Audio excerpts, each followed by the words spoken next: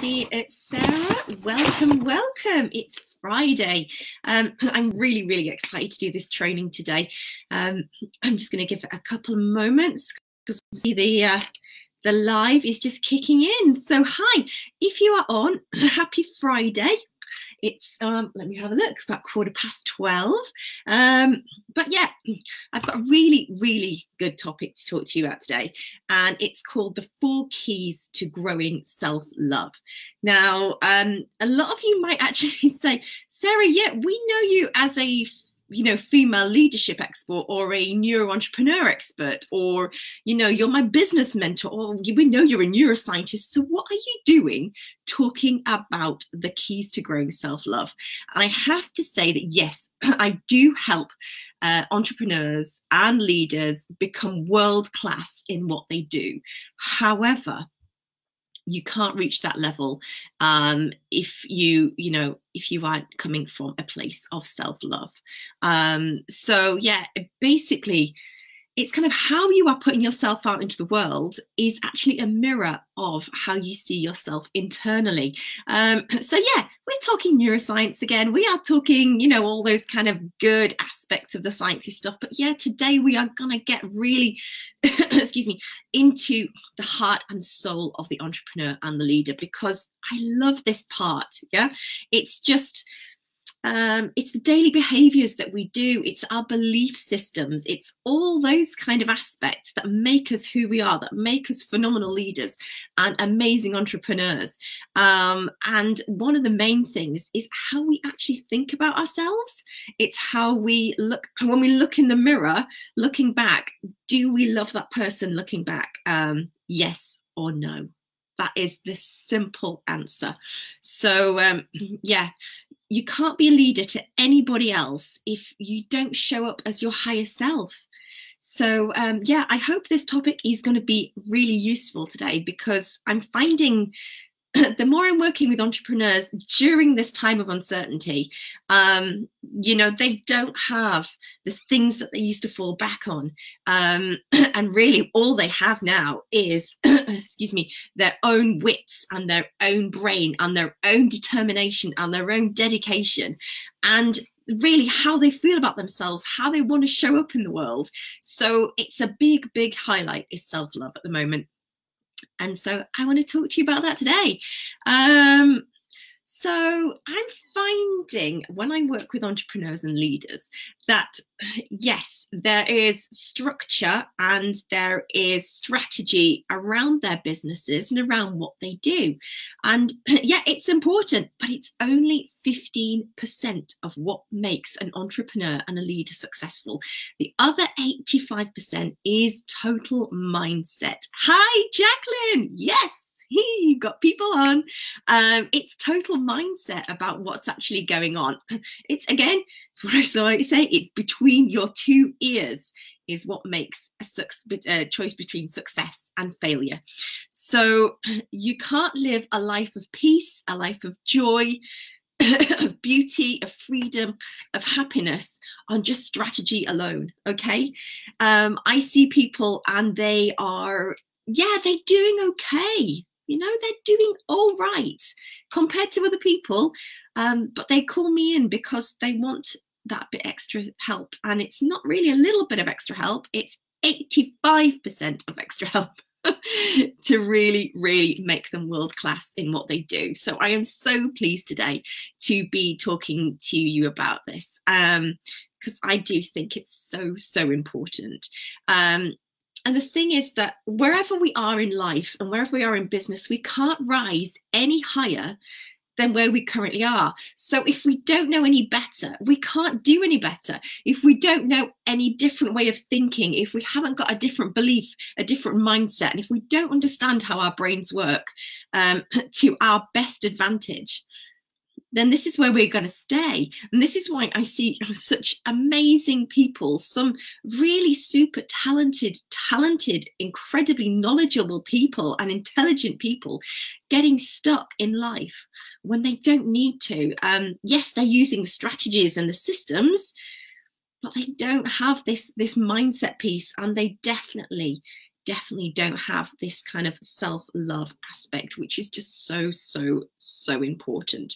So it's kind of like I always think, how can we as leaders and female entrepreneurs, well, any entrepreneur really, how can we um, lead and build strong relationships when we don't love who we are in ourselves.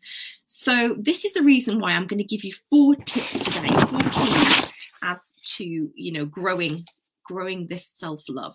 And it starts today. Okay, it's always a process, but take the first step today, everybody. That's what I invite you to do. So we'll jump straight in.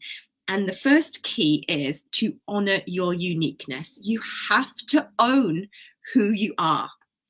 Um, you have to be true to yourself. You have to get to know yourself, which I will talk through the other steps which will help you do that. But you have to get to know yourself. You know, there's eight, almost 8 billion people on this planet but there is nobody else like you. There is nobody with your uniqueness, your skills, your passions, your hopes, your dreams, your genius. There is nobody else out there like you that is this perfect, perfect package. And I have to say, for a long, long time, I am now in my 40s, and it took me the best part of 30 plus years to really understand who I was and to to actively find who this person was. Um, and some people go through life never knowing that, never, never even considering that that's something that they can look at. And I want to thank you today for being on here because you are the kind of people who are questioning that that mindset. um, yeah, I did. I struggled with it, and I'm I'm going to be brutally, brutally honest because I um I had lots of skills and lots of uh you know knowledge in lots of different areas. And for a long time, I didn't stand up and say, yeah, this is me and this is who I am in the world. And this is the skills and the knowledge I can bring. I had such horrendous feelings of things like imposter syndrome.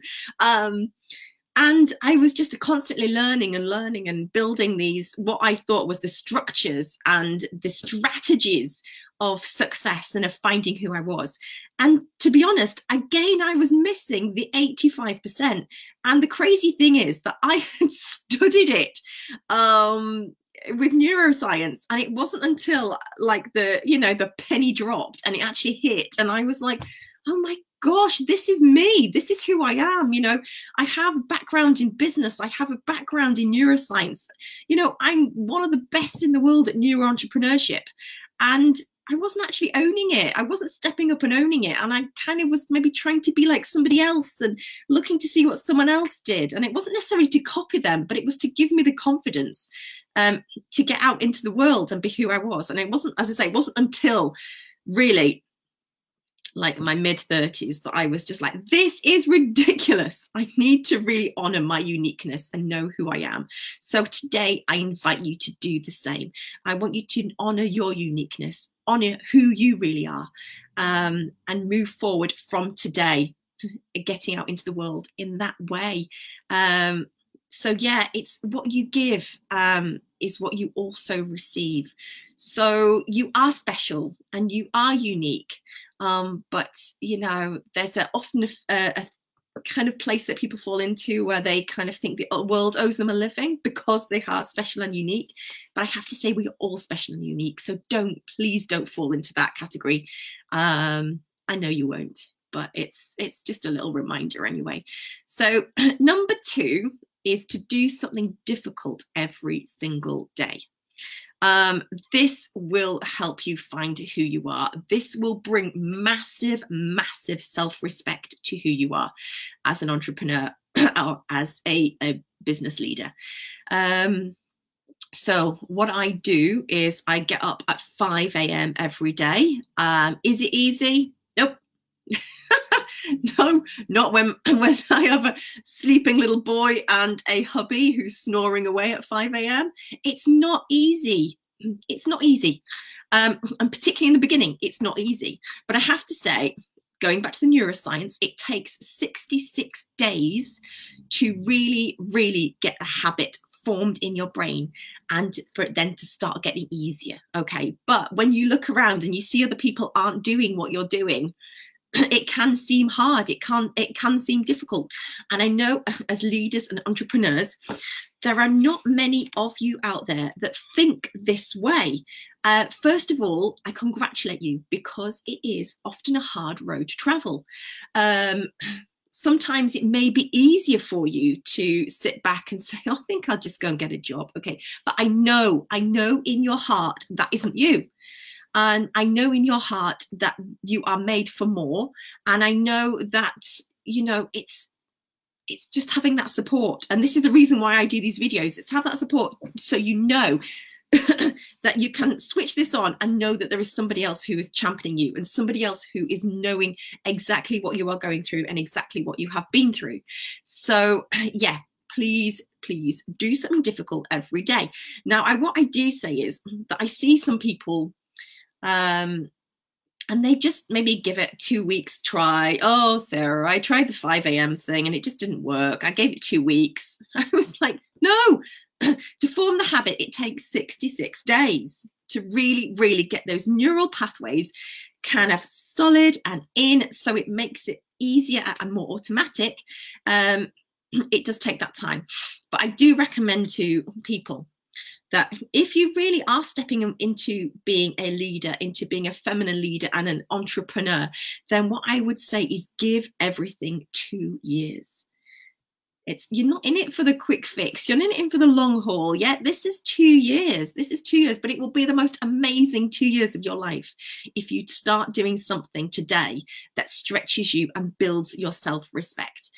Um, so yeah i've just signed up for a coaching program and i had the choice of one or two years and i knew i knew i would need two years. I knew to get everything out that i needed to get out of that program. I needed to make that commitment to myself and that investment in myself that it was going to take two years. Yeah i'll get results way before two years but i need to know that going through that process and being surrounded with that community and being mentored by that kind of leader is what I need. And I'm really happy for it to be two years. I've kind of learned that everything that is worthwhile doing and sticking at does take two years. Um, so I invite you to kind of stop looking for the pleasure and the fun and the easiness because that's not what leaders do. That's not what amazing female entrepreneurs do. We don't go into it for the easiness. We don't go into it for the, oh yeah, well, I'll I'll kind of start at 11 and knock off at three. Um, yeah, you know when you structure your business yes you can do that totally um, but you know we are determined people. We're determined ladies who are making massive massive strides and getting out into the world. Um, hard work isn't hard. It's actually quite challenging. So it's quite fun. Um, so yeah i would love to invite you to be like one of the 5% of the population um, and just to start building your day around things that you might find difficult. You will stretch yourself, but you will also build massive self respect and massive self love. Um, and I'm not saying be a martyr and make every day so, so difficult that you, you, you don't want to wake up at the five o'clock. But what I want to say is just add little, little incremental things every single day. Do something that challenges you every single day um, and that keeps things exciting. So, point three is to get back into nature. Oh, the reason why I live in the Lake District here in the UK is, um, yeah, it's just the nature, it's just the quiet and the solitude. And the taking time, the taking time to get sat by that lake, to go into the woods, to, you know, just yeah, have that peace and that quiet when you have a busy, busy life. And I know many of you don't do this. And again, it's my little invitation for you today to do step into that. It doesn't actually have to be literally into the woods and into the wilderness. If you can, it's the best thing you can do for your brain is to go on a quiet retreat. Go on a quiet retreat somewhere if you can. Um, I know it's not easy during this time, but it's not going to be forever. So start planning where you're actually going to take your retreat to.